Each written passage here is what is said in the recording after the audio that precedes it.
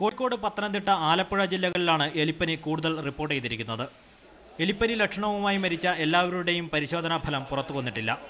അതിനാൽ സ്ഥിരീകരിക്കപ്പെട്ട കേസുകൾ രണ്ടെണ്ണം മാത്രമാണെന്ന് മന്ത്രി കെ കെ ശൈലജ വിശദീകരിച്ചു. ഇപ്പൊ നമുക്ക് സംസ്ഥാനത്ത് എലിപ്പനി എന്ന് സംശയിക്കുന്ന മരണങ്ങൾ ഉണ്ടായിട്ടുണ്ട്. അപ്പൊ അത് ഇരുപതിലേറെ ഇരുപത്തിനാലോ മറ്റാണ് അവസാനം കിട്ടിയിട്ടുള്ള കണക്ക്. എന്നാൽ അതിൽ കൺഫേം ഡെത്ത് രണ്ടേ ഉള്ളൂ. എലിപ്പനിയാണെന്ന് സ്ഥിരീകരിച്ചത് രണ്ടാണ്. പക്ഷെ അതുകൊണ്ട് നമ്മൾ പൂർണമായിട്ടും ആശ്വസിക്കാറായിട്ടില്ല. എലിപ്പനി രോഗലക്ഷണവുമായി കോഴിക്കോട് നൂറ്റി മുപ്പത്തിയൊന്ന് പേർ ചികിത്സയിലാണ്. നാൽപ്പത്തിമൂന്ന് പേർക്ക് എലിപ്പനി സ്ഥിരീകരിച്ചു. മരണം പത്തായി.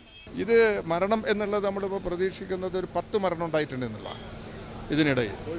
കോഴിക്കോട് കോഴിക്കോട്. ജില്ലയിൽ. പത്തനംതിട്ടയിൽ എട്ട് പേർക്ക് എലിപ്പനി സ്ഥിരീകരിച്ചു.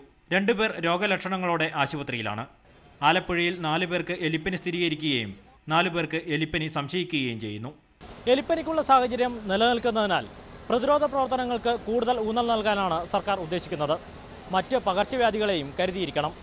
E V Unnikrishnan Mathrubhumi news Kozhikode.